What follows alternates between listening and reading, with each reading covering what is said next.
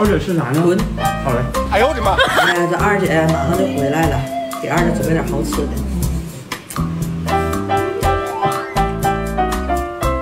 我看她气冲冲的跑出去，你们两个又吵架了？